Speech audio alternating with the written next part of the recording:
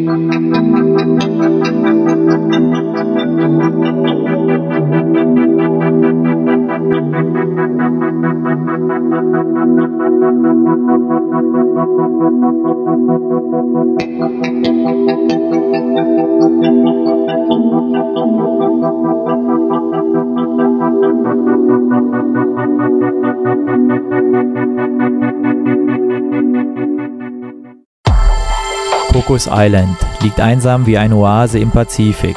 Abgetrennt vom Rest der Welt liegt die größte unbewohnte Regenwaldinsel ca. 500 Kilometer vor der Küste Costa Ricas. Die Tauchplätze rund um Kokos zählen zu den besten der Welt. Hier hat man die große Chance auf außergewöhnliche Erlebnisse unter Wasser.